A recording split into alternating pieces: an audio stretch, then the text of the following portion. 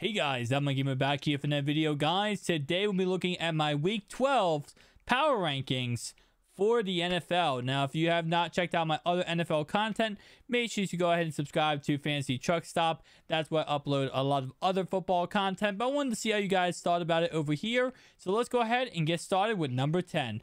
Number 10 is a interesting team because, of course, it is going to go ahead and be none other than the LA Rams.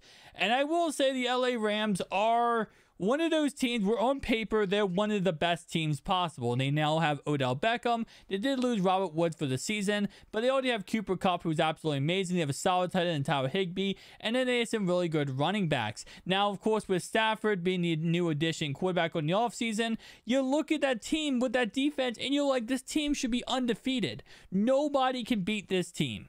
Well, what we saw was the Titans handled business against the Rams, and then following that, the 49ers handled the business versus the Rams. So that is, of course, two L's, a bye week, and now they play the Green Bay Packers, who is also on this list. So I got to put them at number 10. I know they have a good record, and I know, you know, I try my best when I do my power rankings. We're not basing this on your actual record. We're basing this on how good of a team you truly are. And I still will say one thing. I have no idea what's going on with them because they got Sean McVay. They got an amazing coach. They just simply can't figure it out. I still think they're a top 10 team, but I got to put them number 10 for that reason.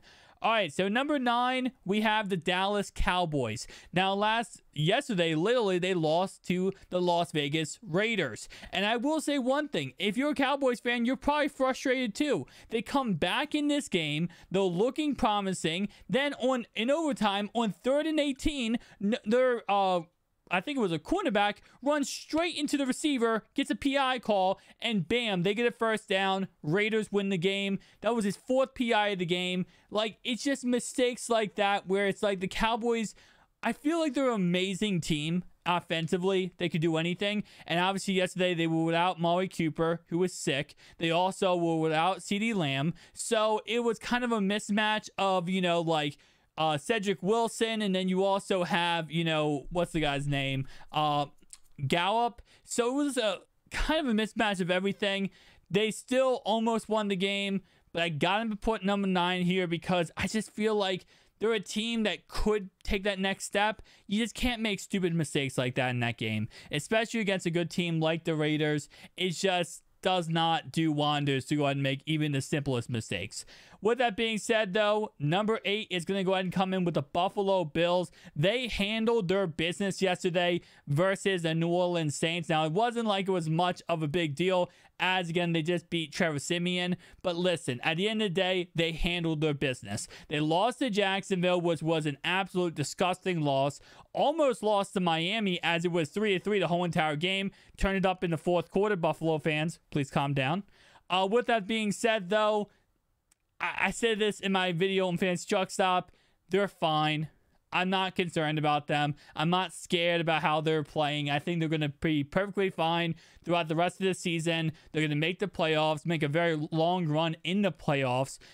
The only reason they're number eight here is because for some reason they're messing themselves up. That's all I gotta say. But at the end of the day, I think once we get to the playoffs, they have a really amazing coaching, they staff, they they'll go far. Josh Allen is a solid quarterback. All right, so number seven, Tampa Bay Buccaneers. After going ahead and taking the L to the Washington football team, they went ahead and beat the Giants.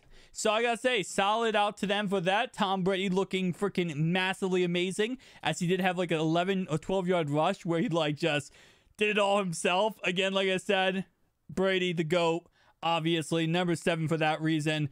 But I will say number six on my list here is going to go ahead and be the Tennessee Titans, which I, I, I don't know what to think of this team. I really don't know what to think of this team. I was selling this team so highly. They're the best team in the league. Derrick Henry goes down. They still blow out the Rams. They still win games without Derrick Henry. And then they lose. And you got to think, okay, three, have three losses on the season. Let me tell you who the three losses are. Number one is going to go ahead and be the New York Jets. They lost to the Cardinals. Cardinals will make sense. Jets, what are you losing to the Jets for? Cincinnati fans, chill. Number three, they lost to the Houston Texans. It's it's a mismatch, man. They are really a weird team. At the same time, I'm going to throw that Jets loss up to it beginning of the season.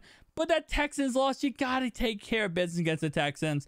And I will still say to this day, I am a believer that Der- they can win this without Derrick Henry. I believe they can still win without him. I think they're fine without him. Julio Jones now is on IR, obviously, so they have no Julio. They have AJ Brown and pretty much nobody else for Ryan Tannehill.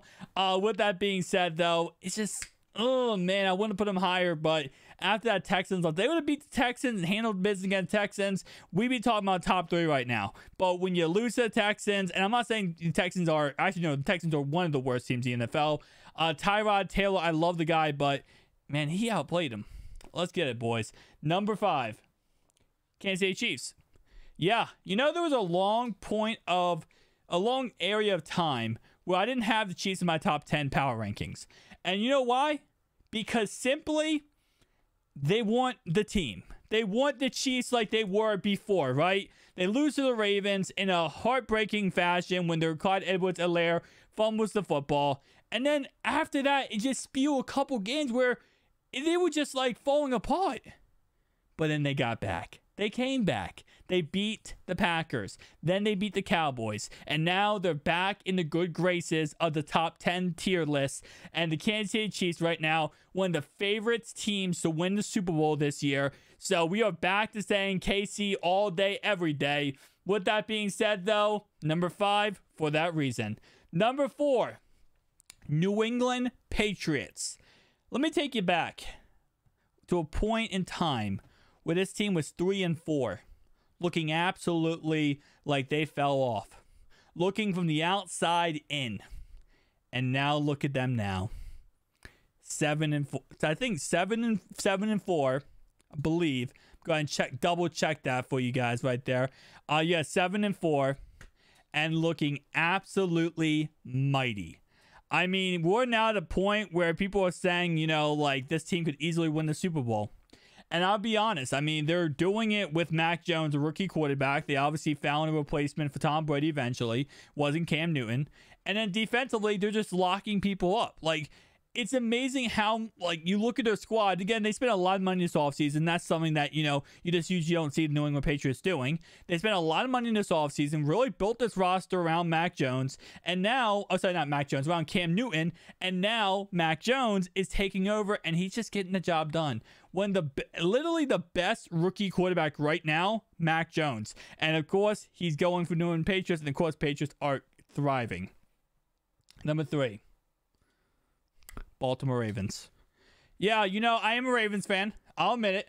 And to be honest, we almost lost to Chicago with our backup quarterback. Yeah, we didn't have Lamar Jackson. We had my man Huntley. My man Huntley was hunting in that game. Absolutely love the man. And yeah, we went ahead and got the W. In the end of the day, we got it done, even with the fact that we literally allowed them to score a touchdown with like a minute to go. We found a way to get the ball back, go score a touchdown ourselves, and win this ball game. I will say overall wise, we the Ravens defense give up. We give up. I think it's the third.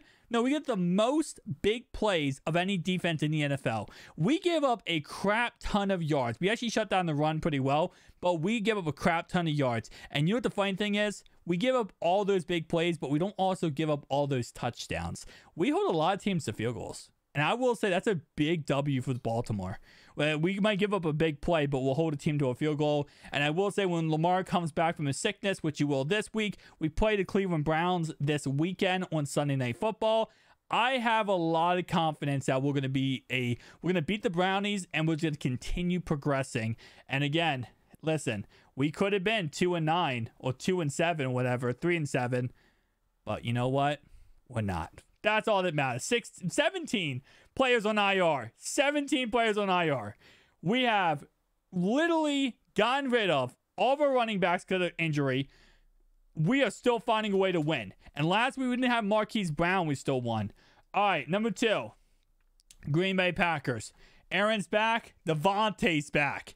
Davante Adams last week having a 120 yard game, two touchdowns that is back, man. We got Mr. Davante Adams back in the show, and he is playing lights out football. Shout out to Davante Adams for that. And the Packers are looking good. Their defense is looking solid. Their offense is looking very uh, massive. And I will say again, you know, now they have the Rams this week, oh, number 10 team on this list. They just got to take care of the business, get the get business done, and they should be a solid team uh, moving forward, and definitely a Super Bowl favorite at this moment in time. But number one is a team that didn't have their starting quarterback for the last four weeks, Kyler Murray and the Cardinals.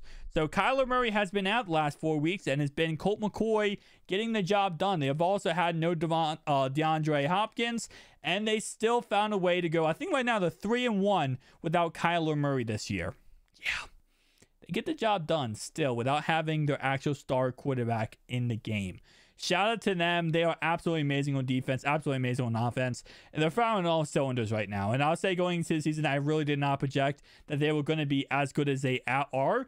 And I will say I was wrong. I was wrong about them. I really thought they were going to be a worse team than they were. And they're absolutely destroying every single person they play against. So shout out to the Arizona Cardinals. Shout out to you for hitting that subscribe button, like button on this video. I'll see you guys next one. Peace out.